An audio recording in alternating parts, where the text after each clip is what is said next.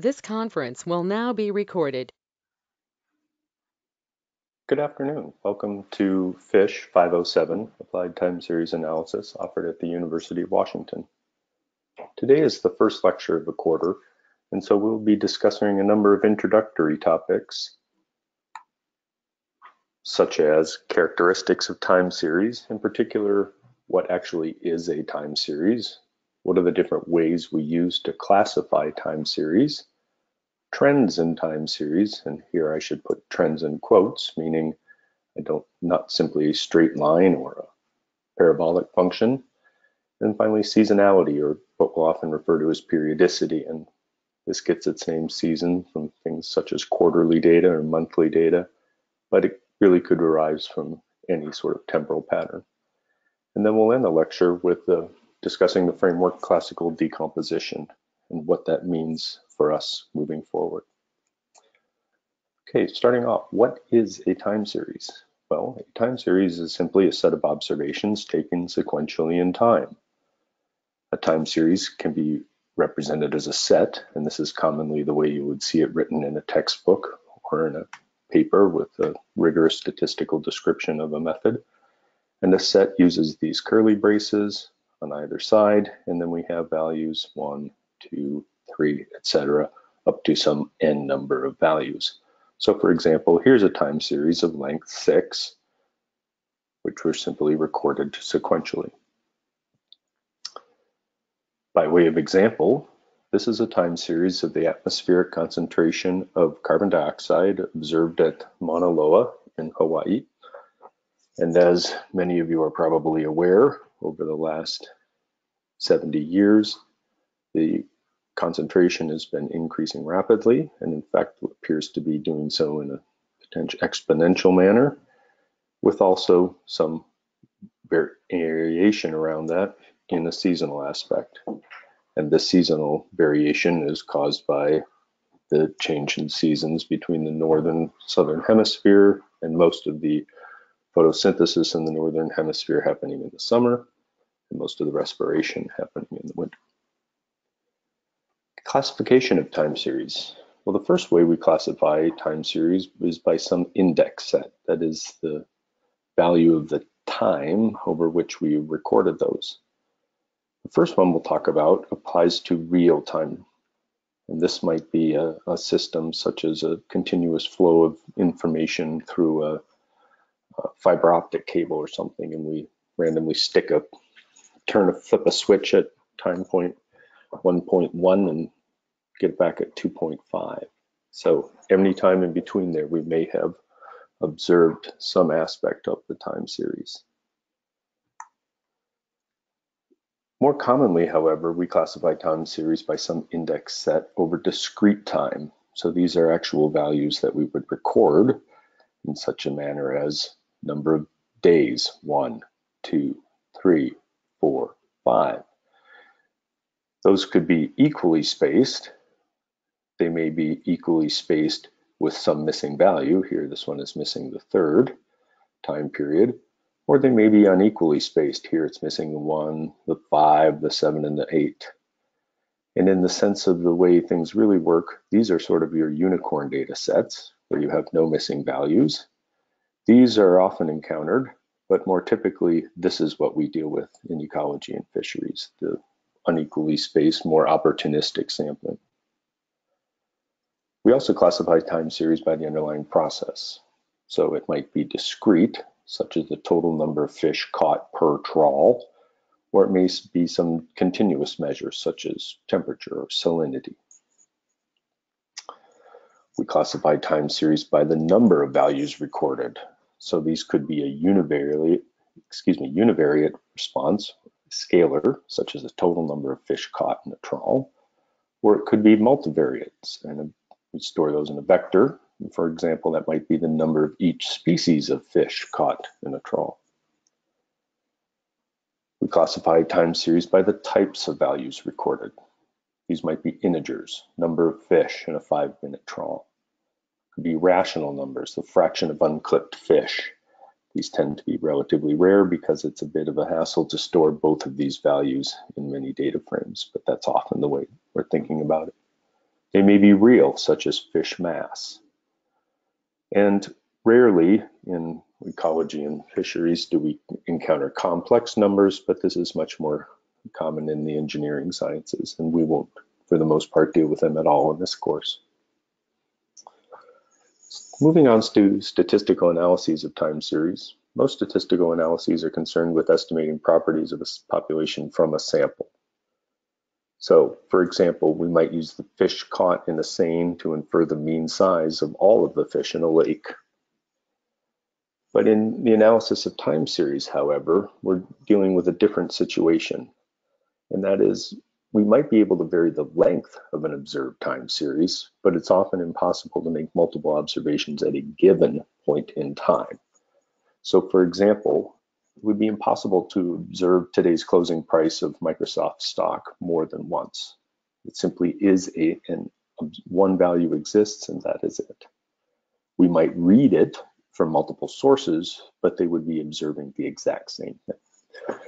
Thus, conventional statistical procedures based on sort of large sample estimates are going to be inappropriate for time series.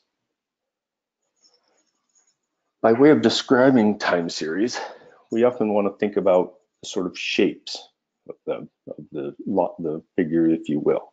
So here's an example of the number of users connected to the internet through a particular router over uh, seconds. And what you see is early on this time series, it's very low. Then we see this rapid increase, and then there's a relatively constant period, then this rapid decrease, bit of lull, and then a rapid increase toward the end. Now that description is not very rigorous. It just involves adjectives and adverbs. But nevertheless, it does help us to try to understand what's going on there and what sort of things we might be looking at when it comes to trying to estimate uh, different models that we would apply to these types of data. Take, for example, this time series, the number of lynx trapped in Canada from 1821 to 1934. These are monthly values. They're very well known in some classic ecology textbooks and they're characterized by these periods of big booms and busts in populations. And we think that those are related to the number of snowshoe hare, which also relates somehow to sunspot activity. What is a time series model? A time series model for a collection of x's is a specification of the joint distributions of a sequence of random variables, your capital x of t, of which our set is thought to be a realization. Well, that's certainly a mouthful. What do I really mean by that? You can think about some joint distribution of random variable. So here are a bunch of random variables, time series of here 40. And in our case, we have but one realization of those. So we are trying to now describe, based on one realization, the distribution of everything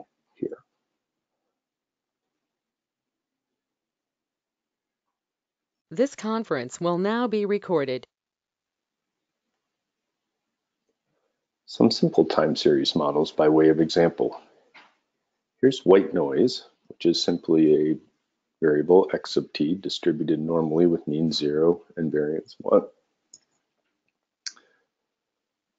Here's an example of a very simple time series model, which we will actually rely on quite heavily in this course, a random walk. And it's called a random walk because the value today is simply the value yesterday plus some error term. And in this case, the error is again distributed as this white noise, mean normally with mean zero, variance one. And here are examples of random walks, all of which started relatively close to one another, but they tend to wander off through time. And if we had let this run over infinite space, this random, one of these random walks would have visited all points on this real line. Moving on to classical decomposition, this is simply can be thought of as a way of framing your different models.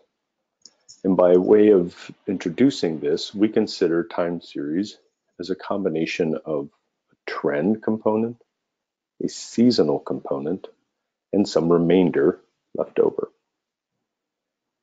And by trend, again, we don't simply mean linear. It could be something uh, odd shaped, but nevertheless some sort of regular component to the data. Beginning with the trend, we need to a way to extract this so-called signal. And one common method is via so-called linear filters.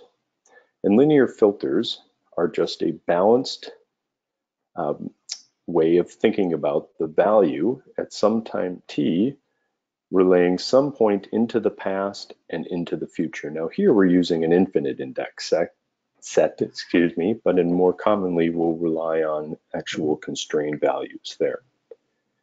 And the weights here will determine the influence of each of these different values around that. This should be an I. I'm sorry for that typo. For example, a moving average can be thought of as a linear filter. In this case, again, here we've moved from a minus to a plus discrete index set, and we're going to use 1 over 2 times that value plus 1 times this value offset by some negative lags and some positive lags. So, for example, if a were to equal 1, then m sub t will be 1 third that would be 1 over 2 plus 1, 1 third, times x at t minus 1 plus x at t plus x at t plus 1, minus 1 to 1, minus 1 to 1. This is the form of moving average that Excel uses, if anybody's ever plotted a moving average trend using Excel. Here's an example of linear filtering using monthly airline passenger data from 1949 to 1960. So this is the number of people that are flying on airplanes. And simply it looks like this time series is characterized by this kind of increase in the overall trend, perhaps exponential, and also some sort of regular pattern here where these, these blips, there's these annual highs and annual lows with some sort of structure in between. If we passed a linear filter through there, we can start to see some sort of smoothing effect. So this is one, the first one we just looked at where we had that A value set to one. And so now here, the value at each time is equal to one third the value last time, this time, and next time. Here's a filter where we're now up increasing that lambda to one over nine. And here's a case where it's 1 over 27. And there's a couple of points I'd like to make here. As you increase this value in the denominator so that you're spreading the, the influence of any one value out over greater positive and negative time lags, it has a smoothing, a much more smoothing effect. So here we started out relatively close to the real data. Now we're starting to see some smoothing. This red one is barely catching these lumps here and if we increase this denominator even more, we'd see that this got to be nearly a, a monotonically increasing line. The other thing I'd like to point out is that each time we do this, the resulting estimate of the filtered time series we get is shorter by that number of values. So here we lost one value on each side of the blue because in order to compute the filter, you need one value ahead and one value behind. When we move to nine, we're trimming nine values off the front and the back, and then the, but 27, we're trimming nearly a month off of here, each side of these. So at the expense of smoothing out this filter, you're also losing estimated uh, trends. Moving on to the seasonal effect, this is really easy because once we have an estimate of the trend, we can estimate the ST simply by subtraction. So the ST here is going to equal the observations minus this trend. Noting that this ST also contains the error term because remember that there's an actual, these would be, in order to truly get the ST, we would have XT minus MT minus the ET. But for now, we're going to include that in the seasonal component. So here it is, once we've subtracted that trend using a linear filter where we have lambda equal to 1 ninth. So this is the influence of four values on each side of the, of the observations. And what you can see is, yes, there is this very rigorous increase over um, regular trend, which does appear to be expanding over time. But you can also see that it's not completely regular, that there are some errors left over in the data. So in order to deal with that, we simply take the average of each of the months across time. So we take the average of all Januaries, average of all Februaries, March, it's April, etc. And here's what we get when we do that. So now we've taken that average of each one and just repeated that sequence over and over. So this is what we call called our seasonal effect. And as I noted before, that we don't always expect this to be some nice, smooth, sort of discrete sinusoidal function, but rather it may have some irregularities. There's still maxima and minima, but it does have this regular kind of repeating pattern. And now, in order to finish our classical decomposition model, we have the remainder, which we can get via subtraction. So there we take the original data minus the trend minus this now regularly estimated seasonal effect from here. And when we do that, this is what we're left with. So this is now the remaining component. And unfortunately, it looks like there's still quite a bit of structure in this remainder. I see some sort of regular components here that starts out quite amplified and then shrinks and then starts to amplify again. And I would contend that this is not a very good model because overall we tend to like our models to have, well, ideally a, a remainder would be zero here, but we tend not to have things look like uh, there's any sort of regular structure. We'd like the variance to be more or less the same throughout this entire time series, and clearly this does not look that way. So let's try a different model and use some slightly varied assumptions. The first one we're going to do is log transform those data because as you recall, the trend was somewhat exponential over time and the amplifications in the seasonal data were also uh, increasing over time. And rather than use a, a linear filter, we're going to fit a linear trend to the data. Okay, so here now our plot of the log transformed airline passenger data. Now you can see that this trend looks to be relatively straight, and the seasonal amplifications are the same throughout the time series. Here's an estimate of our linear trend. So we fit that and we subtract that from the regular, the original data to now have our seasonal effect with error. Okay, so you can see that there is still this regular seasonal effect and there is some irregularity to it, but now it doesn't seem to be quite as bad with respect to that sort of cone shaped we saw before. Once again, we'll take an average of each of the individual months and repeat that sequence over time. So here's now our mean seasonal effect across all time periods. And again, we do see a regular uh, sort of maxima here, minima here, and some spikes in between. Here now is our remainder. And while this is by no means perfect, I would argue it does look much better than what we had before. There certainly seems to be perhaps some what we'll call autocorrelation where these values tend to look like one another over time. It doesn't look to be this fuzzy white noise that we think of as like a caterpillar kind of lying across the zero line. And maybe there's some sort of nonlinear shape to them, but for the most part, there's not much seasonal effect left over. So in summary, today we began our discussion by talking about the characteristics of time series, what are time series, how we classify them. Then we talked about things like trends and seasonality, and ended our discussion with the framework of classical decomposition. And classical decomposition is something we're going to rely on a lot in this course moving forward.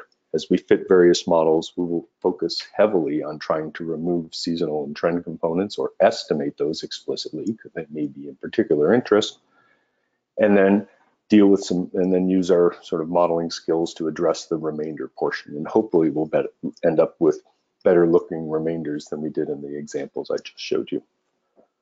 And with that, I thank you. Goodbye.